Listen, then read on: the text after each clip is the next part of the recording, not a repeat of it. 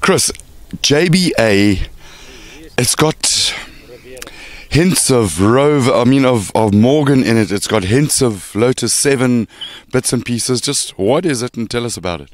When they made it, it's JBA, um, and these cars were made for a Ford Cortina, Sierra, and Falcon. So the slave car on this is a 1978 Ford Cortina bakkie. Really? You take everything off, and nearly fits here, from the Cortina or the Sierra or the Falcon. And This has got a 1600 Kent motor in.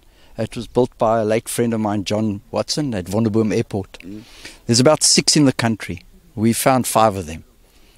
where's the sixth? Where do you think it is? I've got two. The sixth one was sold on Gumtree, and we're trying to find the guy. Um, he paid about 10 grand for it in 2018. We asked Gumtree for the, his uh, details, they wouldn't give it to us. So maybe this somebody sees it and tells the guy to contact us. The guy who bought one of these JBAs in 20, 2018. On Gumtree. drop a comment in there if you know who know who it is, or if you've seen one of these in South Africa. There's six. Put a note in there. Just spotter's guide for JBA.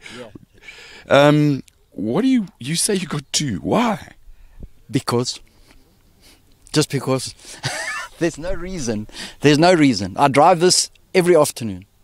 Come home from work, put shorts on, and I go for a drive. Go for coffee, go for a drink. In winter, put a warm clothes on.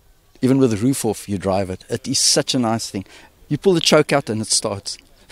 Well, it's a Ford. Cortina bakkie. Yeah, and it leaks. Well, it's a Ford. Yes.